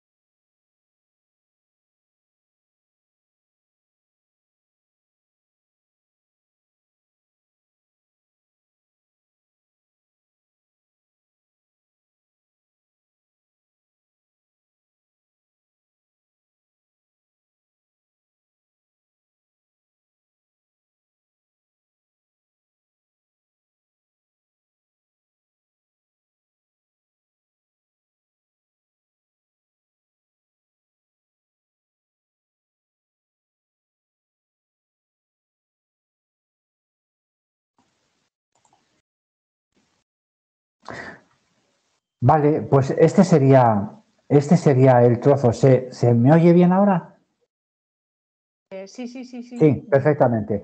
Vale, bueno, eh, no, no, os no sé si, eh, si todo el mundo, igual ha habido alguna dificultad de volumen o lo que sea. Bueno, os diré, la película se llama La caza, la podéis ver tranquilamente en, en abierto, sin ningún problema, en interés, en internet. Eh, a veces se traduce por la cacería. Eh, es una película mm, de origen danés que está situada en una, en una guardería eh, danesa y, y es del, si acaso por, por buscarla para que no haya confusión, es de 2012. ¿eh? Se titula La caza en eh, idioma original Jagten, ¿eh? que es la, la caza en, en danés. Bien, lo que nos interesa para, para un poco para la sesión, ¿vale? Esto es lo que no hay que hacer. Eh, fijaros que hay una niña que en su momento hizo una, una pequeña revelación, hay un interrogatorio por parte de un, alguien que se supone que es especialista a una niña que no quiere hablar, dice que no quiere hablar y por tanto eso no se respeta y se presiona. ¿Para qué? Para que diga lo que él piensa que hace un tiempo dijo esta niña. O sea, otra vez a decirlo y, y- aparte de que esa, la propia presión de, de no querer hablar. Toda la información que se puede obtener de, esa, de esta entrevista, se supone especializada, es una información que aporta el entrevistador. La niña no da ninguna información, simplemente dice sí o no, o asiente con la cabeza, o no dice nada. Eh, por tanto, es, eh, es, mm, es una entrevista completamente sugestiva. Haya ocurrido o no haya ocurrido, después se, ve, la propia peli desarrolla que no ha ocurrido, eh, haya ocurrido o no ha ocurrido, no serviría este tipo de entrevistas para, eh, en un contexto eh, forense, en un contexto judicial, no serviría, no tienen ninguna validez, puesto que las respuestas se le están dando a la niña. ¿Viste si salía un líquido blanco? Bueno, ¿y ¿de dónde sale eso? Eso es, la, una cuestión que plantea el propio entrevistador. La niña no ha dicho nada de, líquidos blancos ni nada de eso. Luego, es una cuestión muy añadida. Eh, y también eh, estos comentarios de que no tiene imaginación o sí tiene imaginación. Bien, ahí también hay que considerar alguna hipótesis que no se, no se toma eh, en consideración. Las referencias que podamos hacer en una, en una entrevista de este tipo nunca tienen que ir dirigidas al contenido. Es decir, nunca tenemos que hacer referencias directas a mm, lo que tú dices coincide con lo que yo pienso, mm, te estoy entendiendo, lo que, porque yo también creo que es un agresor. Algunas referencias que, se, que puede hacer al supuesto agresor no deben de, ni, ni siquiera los, los asentimientos no gestuales eh, tienen que ir dirigidos al contenido, sí en cambio a la forma. Te estoy entendiendo, me, oye- me oyes bien, creo que nos están grabando bien, seguro que los de la sala te están escuchando bien. Ese tipo de cuestiones dirigidas a la forma puede hacerse, pero nunca las que sean dirigidas al, contenido. Bueno, antes de, la- de las preguntas, vamos a dejar un tiempo para, para estas preguntas. Me gustaría hacer un pequeño mm, esquemático resumen eh, con la siguiente. Compartimos, si os parece, eh, el PowerPoint, volvemos al PowerPoint y compartimos las, las últimas diapositivas. Íñigo, no sé si me está escuchando. Sí, veo que hay movimiento aquí. Eh, serían, eso es, ¿qué no hacer ante una revelación? Y la siguiente, vamos a ver qué sí hacer. ya centradas mucho en el contexto escolar como colofón de, estas mm, pequeñas eh, pinceladas técnicas que hemos, que hemos dado. Pues ante una revelación, no le preguntes por qué lo explica ahora y no lo ha dicho antes. ¿eh? Fijaros que eh, este tipo de, asuntos de violencia sexual en ocasiones es continuada. El que no lo haya referido tiene que tener, si es que ocurrió, tiene que tener una explicación, puesto que ha permitido que una y otra vez se vaya repitiendo. Normalmente son situaciones que se repiten más de una ocasión, especialmente cuando hay una relación afectiva, cuando es intrafamiliar, que ya sabéis que la mayoría de los casos de abuso sexual eh, son, son intrafamiliares o por, por personas conocidas. Hablo de intrafamiliares con alguien con relación afectiva. eh, por tanto, el que se haya perpetuado en el tiempo eh, tiene, tiene una explicación y, una de y, tiene, es la misma explicación que indica de por qué no se ha revelado anteriormente. Luego no le preguntes, no le vamos a preguntar por qué, no le vamos a hacer sentir culpable eh, por una supuesta revelación, que es una pregunta muy, muy, muy corriente, muy mm, de los papás y los mamás cuando tienen conocimiento de una situación de esta. ¿Por qué no me lo has dicho antes? Que es muy bien, muy bien intencionada la, la pregunta, porque si me lo hubieras dicho antes, lo hubiera podido evitar. Y me siento culpable porque no me lo has dicho antes. Es bien intencionada, pero, eh, pero ponemos en cuestión al niño o a la niña cuando mm, hacemos este tipo de, comentarios o, le, decimos eso. ¿Por qué no me lo explicas ahora y no lo has dicho antes? No hagas preguntas que vayan al detalle porque, porque no somos, no sois, no somos, bueno, eh, yo en mi trabajo sí, lógicamente, pero no sois especialistas en este tipo de preguntas y de entrevistas eh, victimizadoras, vamos a llamar así, o con riesgo de victimización, y podríamos introducir en su memoria aspectos que no son verdad. Eh, no es difícil de modificar la memoria, hemos visto ya la memoria de un niño o de una niña no es difícil de modificar con nuevas preguntas, con nuevas eh, interpretaciones. En ocasiones nos llegan situaciones eh, que tienen mucho que ver con la higiene. Eh, bueno, pues una situación de higiene, lógicamente, a lo mejor de niños pequeños cuyo padre o madre hace tocamientos en contexto de higiene, el darle significado sexual a un niño que no lo conoce, no es difícil, es muy fácil. ¿eh? Por tanto, no hagamos preguntas mm, eh, relacionadas eh, con el detalle porque podemos introducir algunos aspectos que el niño no contenía. Es lo que se llaman las falsas memorias, que son memorias con características idénticas a las verdaderas, pero basadas en hechos que nunca han ocurrido. ¿eh? Por tanto, por tanto eh, eso tiene una explicación científica. Hay situaciones de falsa memoria, hay investigadores que están eh, todo el tiempo generando evidencia científica sobre este, este, tipo de generación de falsas memorias. No es nada difícil y en un niño con relación afectiva, además, mucho menos. No le obligas a que exprese sus emociones en ese momento. Vamos a respetarlo. Vamos a respetar su estado de ánimo.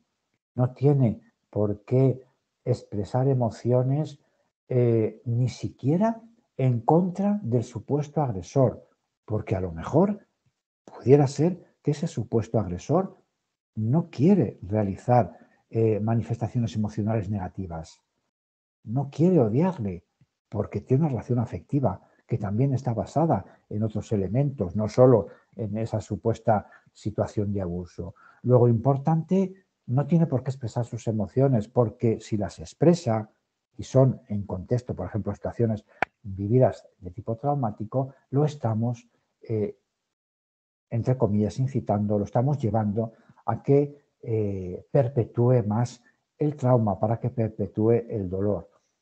Eh, puesto, que le, puesto que le estamos indicando que reviva o le estamos llevando a, revivir esas situaciones.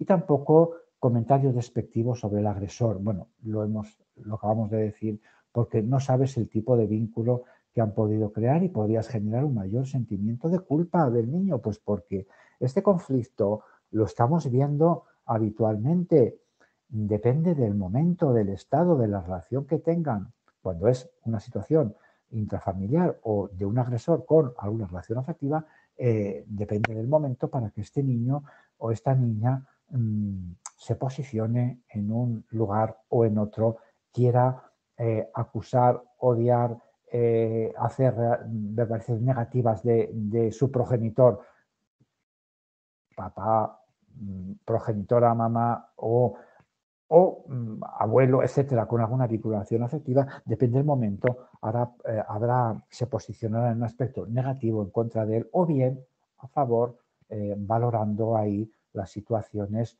bueno, pues la relación afectiva que puede mantener y que, y que quiere o que necesita eh, también mantener. Por tanto, nunca hacer comentarios despectivos, especialmente o sea, del agresor especialmente si sabemos que pudiera ser alguna situación intrafamiliar. ¿Qué sí podemos hacer? ¿Qué sí debemos hacer? Eh, escucharle. La escucha activa es eh, importante. Eh, no le demos las respuestas. Si tiene que indicar alguna cuestión, que la, que la explique el propio niño o niña, sin completar las frases, que es una cuestión muy habitual, infantilizando a los niños, que utilizamos, les completamos, les decimos nosotros el contenido de lo que tienen que decir, sobre todo cuando son más pequeños o tienen alguna pequeña dificultad, eh, ni rellenar sus silencios.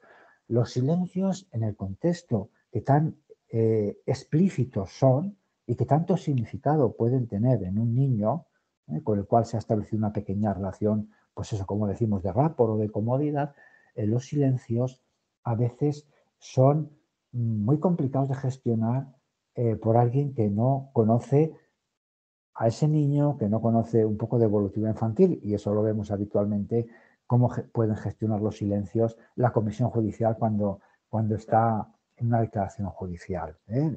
Un silencio, a veces hay que dar, tiempo y no debemos de rellenar esos silencios, aunque inicialmente parezcan un poco incómodos. No acabar las frases, no sugestionarle, mm, sugestionarle, mm, cuando hablo de, sugestionar, hablo de no le añadas información nueva que él no ha aportado, nunca. Cualquier información nueva puede ser eh, una, de, la, una causa de, de sugestión. Y por eso pongo como eh, en negrita, no introducir información nueva. Nombra la agresión de las partes del cuerpo con las palabras que verbalice el niño sin corregirlas ni cambiarlas.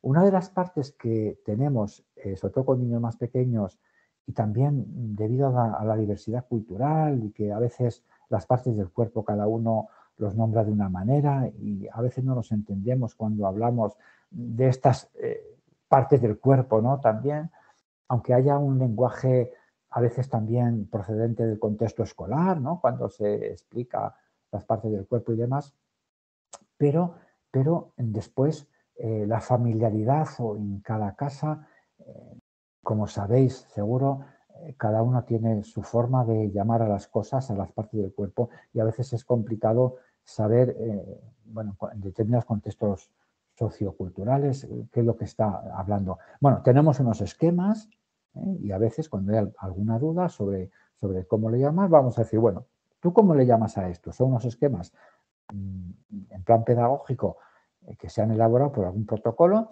y que, que tenemos disponibles y que simplemente se presentan para designar las partes del cuerpo, para hablar y eh, si hay que llamarle a esa parte del cuerpo, le vamos a llamar de la forma que le ha dicho el niño que se llaman. ¿Vale? Y repetir las mismas palabras sin suavizarlas ni agravarlas. ¿eh? Aquí lo importante es, si tenemos que hacer referencia a alguna cosa que ha dicho anteriormente, si ha dicho que le daba caricias, vamos a decir, has dicho que te hacía caricias o que te daba caricias. Si ha dicho me tocaba, pues por ejemplo, una parte del cuerpo habitual, y, cuando, pues me tocaba en la potota, vale, pues le tenemos que decir, eh, lógicamente, con esas mismas palabras.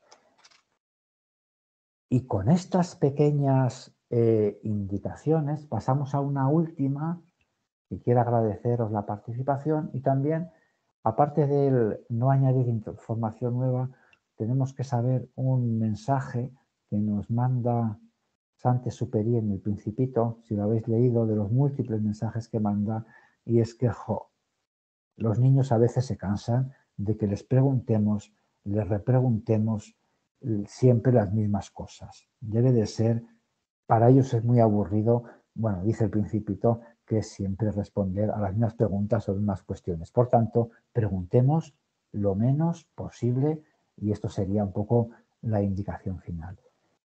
Vale, muchísimas gracias por la atención.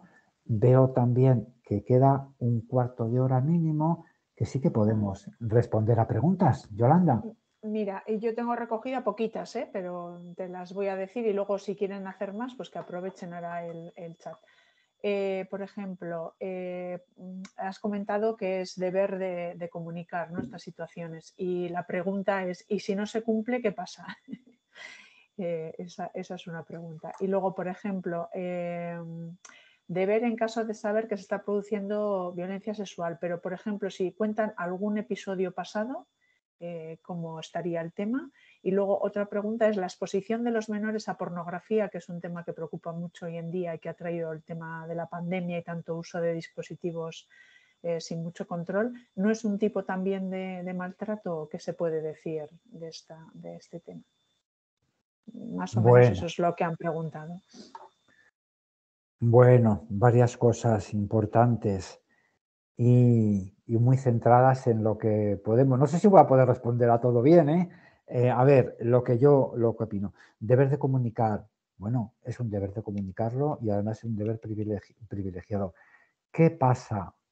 Bueno, eh, ¿qué pasa si, se, si alguien, alguna autoridad, en concreto eh, la Fiscalía de Menores, se entera de que eh, alguien eh, lo sabía, pues por ejemplo, en concreto un colegio, algunos profesores conocían el, hecho y no lo ha comunicado. Bueno, la Fiscalía de Menores, la Fiscalía puede eh, iniciar acciones contra esa persona, contra esa, perdón, contra esa persona que, bueno, Bueno, disculpad.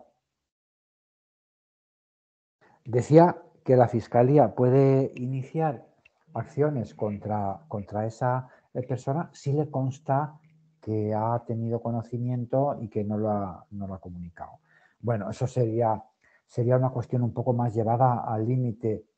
Hay que tener en cuenta que este tipo de leyes eh, establece una serie de elementos o de principios eh, y que eh, intenta también concienciar a todo el mundo. Es decir, se intenta pasar de que unas situaciones que en ocasiones eh, se indica que son intrafamiliares, sobre todo, y que mm, estas cuestiones se deben de mantener en secreto, lo que implica esta ley es que mm, quiere hacerlas públicas para tomar medidas y para que haya un tratamiento adecuado de estos niños, niñas y adolescentes. Por tanto, eh, no sé, yo creo que no llevaría, no sé si llevarían a nadie a, la cárcel ¿no? por no, no, comunicarlo. Sí es importante que tengamos todos la conciencia de que es una obligación de ponerlo en conocimiento, no de denunciarlo, de ponerlo en conocimiento de servicios sociales y el objetivo fundamentalmente es el interés del niño, es decir, mm, poder mm, hacer lo antes posible cualquier tipo de investigación para iniciar también lo antes posible la recuperación, el tratamiento de estos niños cuando, bueno, cuando hay evidencia de que han, ha surgido. Segundo lugar, mm, episodios pasados. Bueno, igual. Eh, fijaros que el tiempo de prescripción de este tipo de situaciones en, en las últimas leyes hay una ley también posterior de violencia sexual que está dirigida fundamentalmente a los a las eh, víctimas más adultas, también a los menores, pero en la parte de los menores se refiere a esta ley de protección a la infancia, a esta ley, eh, ley orgánica 821, hay otra de este año del 22 de, que se llama de libertad sexual y hace referencia, pero fundamentalmente eh, en lo que tiene que ver con los menores hay que tener en cuenta la, la LOPIBI. Bueno, de episodio pasado, bueno, lo que digo es que estas leyes eh, lo que han ido es modificando o ampliando el tiempo de prescripción, porque efectivamente a veces este secreto dura muchos años. En ocasiones este tipo de victimización no se les da significado hasta muy tarde y es cuando se le da significado cuando se inicia la victimización. Eh, ese sentimiento de manipulación, de cosificación, es cuando se le da significado. En ocasiones las propias víctimas no identifican la sintomatología o el origen hasta muy tarde. Luego es una cuestión habitual de que pasen años, años a veces, sin que se realice la denuncia. Es tan habitual que es lo que permite la continuidad. ¿Eh? Fijaros que estas situaciones de abuso cuando se producen durante años, ya hemos dicho, la no revelación es lo que facilita el que se continúen, eh, se continúe mm, produciendo. Si es de episodio pasado, hay dos formas. Tenemos algunos casos muy famosos también, muy de los medios de comunicación, si, si hacéis un poco la memoria, cuyos, denuncias estaban prescritas y no tuvieron ninguna implicación judicial porque estaba prescrito, sí que tuvieron alguna implicación a nivel social y también de ayuda, de reparación a nivel administrativo, ¿eh? la prescripción es a nivel judicial, eh, pero que también, eh, que también se ha denunciado algún otro episodio de la misma, del mismo supuesto agresor sin prescribir dentro del tiempo, que son varios años. No recuerdo si, si se aumentaba a 10 o 12 años. por tanto, si está dentro del mm, episodio pasado dentro de la no prescripción, eh, pues, pues es, eh, tienen importante validez. En, ocasiones sí que se nos, eh, y, es más complicado, lógicamente, es más difícil, sí que se nos indica que se mm, aborde alguna situación, una declaración judicial de algún episodio que ha, pasado hace años. La, la, revelación se produce ahora, hoy mismo, por ejemplo, en relación a situaciones de hace años. Eh, en ocasiones incluso denuncias de víctimas mayores de edad, de cuando eran menores o de que eh, incluso de alguna situación en la cual el agresor también era menor y aunque ahora tenga 25 años o 23, eh, tendría que pasar a la justicia de menores porque en aquel momento tenía 17. Y a veces son situaciones un poco, se pueden un poco complicadas, pero los efectos son los mismos es si ese episodio pasado, si incluso es de hace años y no está prescrito, el deber de comunicación eh, sigue vigente mm, y también eh, los efectos e incluso las, ayudas que pueda obtener la, víctima que, realiza esta revelación. Eh, el tema de la pornografía que les preocupa y nos preocupa a todos. Mm, nos preocupa a todos. Eh, hay un estudio eh, que yo he, visto que no sabría identificar, pero que habría que buscar, un estudio sociológico en Euskadi, creo que es a, nivel de, Euskadi, y que nos habla, igual vosotros, podéis tener más acceso o recordáis también, y que nos habla de la curva eh, de cada vez a edad más temprana el acceso de, de los menores a, contenido de pornografía. Bien, sobre eso dos cuestiones. Ahora mismo cualquiera, niños, mayores, adultos, quien sea, que teclee en Google cualquier tipo de contenido mm, pornográfico que desee, lo ve sin ningún tipo de problemas. O sea que es accesible ahora mismo completamente para todo el que maneje sin control los niños el, móvil, que tenga acceso a, Internet. Luego, eso, eso es una cuestión que, está ahí, que efectivamente preocupa. La validez que tiene esto, pues depende, diferente. Efectivamente, eh, cuando estamos hablando de una conducta sexualizada de un niño eh, a una cierta edad temprana y que nos indica o bien lo ha vivido presencialmente o bien ha accedido a Internet a nivel de, servicios sociales y de protección de menores, es un niño que requiere eh, una intervención, pues porque tanto lo uno como lo otro es una negligencia por parte de los progenitores, o bien porque hayan permitido su acceso sin control a Internet, o bien eh, porque lo ha presenciado, eh, siendo ellos los protagonistas y, por ese motivo ha copiado, ha reproducido esas posturas o ese lenguaje sexualizado a nivel de protección.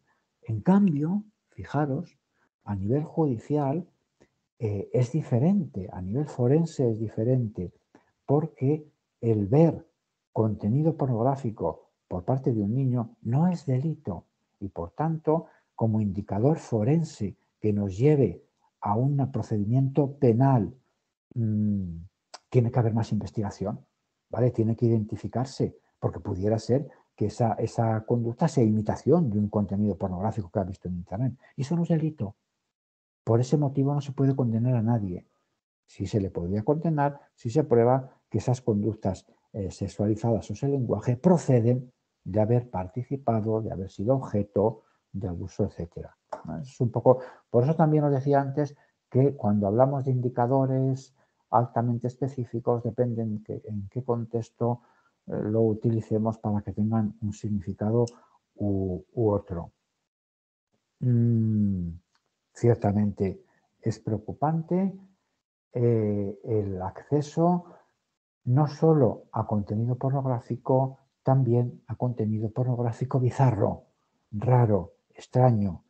Eh, hemos visto situaciones en, el equipo de mm, jóvenes, en este caso jóvenes agresores, mm, acusados de distribución de pornografía infantil eh, y también de eh, interés en ese tipo de pornografía infantil. Me refiero a pornografía infantil de prácticas sexuales extrañas eh, con niños muy pequeños, porque llamaba, le llamaba la atención porque para él representaba una situación bueno, erótica, erótica, sin darle más importancia. Y eso procedía de una vinculación o de, con este tipo de contenidos. Por tanto, no solo eh, acceso para quien lo sufre, sino también problema eh, como, también para, para quien, para, en este caso para, para agresores, ya, ya, digo. Y no solo el, contenido, el acceso al contenido pornográfico, que es, como veis, completamente libre, sino también Mm, contenido pornográfico muy extraño, muy bizarro, muy complicado de manejar posteriormente eh, psicológicamente. ¿eh? Por tanto, ahí comparto con vosotros eh, esa preocupación en lo que nos puede llegar. ¿Alguna cosa más había, veo en el chat? No, más o menos está respondido todo. Sí que había una persona que pedía un ejemplo de entrevista útil pero igual comentar que si nos están diciendo una y otra vez de que no somos especialistas, es que es mejor no ver ni una entrevista útil, porque eso lo tiene que hacer personal súper calificado, vamos, que el tema es muy serio. No obstante, no obstante en este, en este implantación del programa Barnahus que está haciendo, en este caso, el, el departamento, la dirección en concreto de familias e infancia, lo está liderando con la participación de, otros colectivos, justicia, servicios sociales, etcétera, sí que se contempla mm, la formación mm, no, no, tanto de entrevista forense, que eso sería para los especializados, pero sí otro tipo de formación, bueno, pues igual al ir un poco también de, estas, de, esta, de esta formación, eh, pero ampliar más la información sobre entrevista exploratoria, cómo preguntar o no preguntar, o cómo, cómo a veces no preguntar y cómo gestionar eh, este tipo de situaciones. Eh, yo creo que, no tardando habrá más, más cuestiones de ese tipo formativas y de hecho en, esta educación, participando en esta, en esta implantación, seguro que ya os, hablan de, os han hablado del tema, y, está el Departamento de Educación también participando porque es un departamento, lógicamente, especialmente implicado también, sobre todo en primeras revelaciones. El consejo es no preguntar al detalle. Escuchemos, vamos a ver qué nos dice, gestionemos, derivemos a servicios eh, sociales para la gestión si hace falta necesidades de protección y, también para que especialistas, eh, para no contaminar el recuerdo y que sea lo más válido posible. Eh, vale, eh, aprovecho porque ya nos queda nada, dos minutitos para decir que mañana tenemos la última sesión. Estará con nosotros Miguel Ángel Hurtado, que es el asesor jurídico del Gobierno vasco y que de esto sabe un montón. Y vamos a tener que hacer un cambio en el orden. Primero Mariby nos va a explicar el protocolo de educación porque le ha surgido un problema y luego se tiene que ir.